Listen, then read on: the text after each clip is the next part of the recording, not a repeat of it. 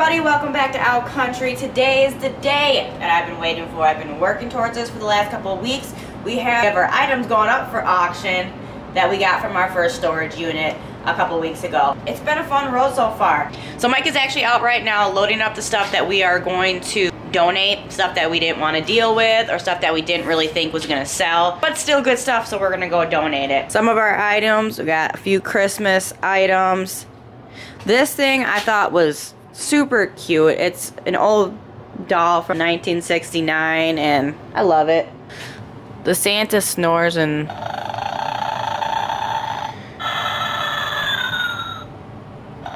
You can see his belly moving. I thought that was pretty cute.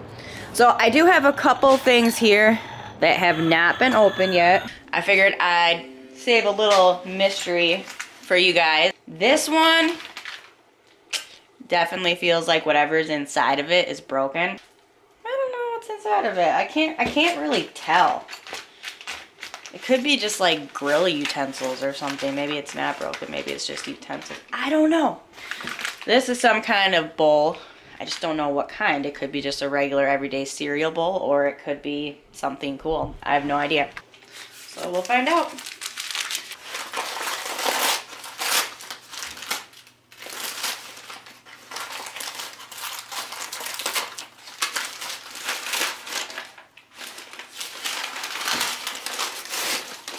It's a big old candle. So it's just a big candle.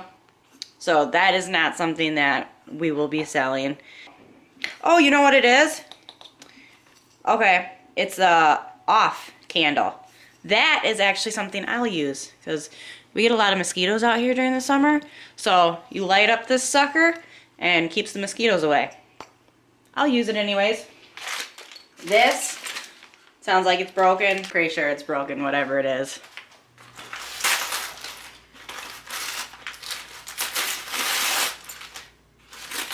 Oh! I don't think it is broken.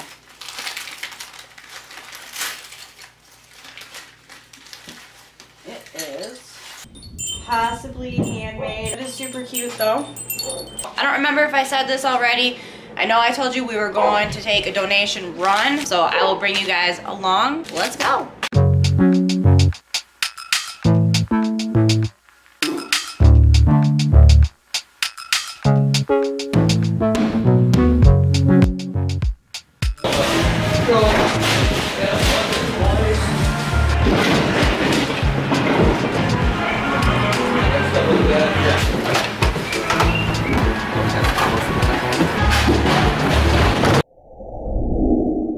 So we have another storage unit coming up this week, so stay tuned for that video. Then on the 25th, we're going to a live auction, so we'll definitely be bringing a camera along for that. We're gonna go into this thrift store real quick. It looked really fancy.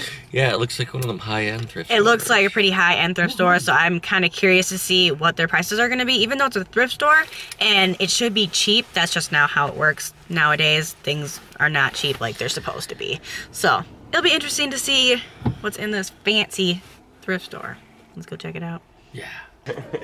Like, seriously? Freaking $89. It better be worth something.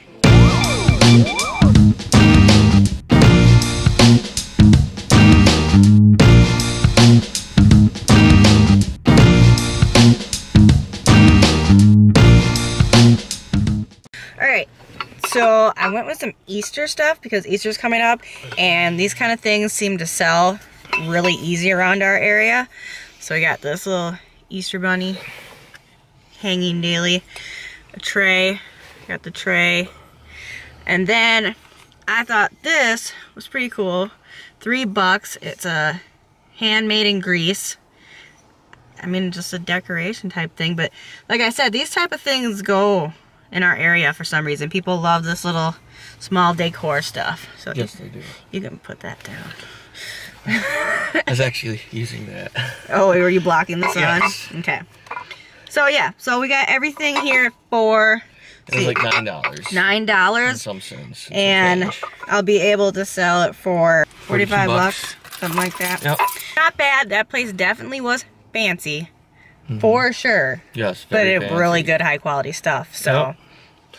So you get what you pay for. Yep, for sure. All right, guys, thanks for hanging out with us today. We will have more storage units coming up. I promise. I know it's been a couple weeks since our first one, but we are getting there. We got one coming up this week, another live auction coming up. There will be more videos coming, abandoned storage units. So make sure you hit the subscribe button, put on that notification bell. We'll see you next time.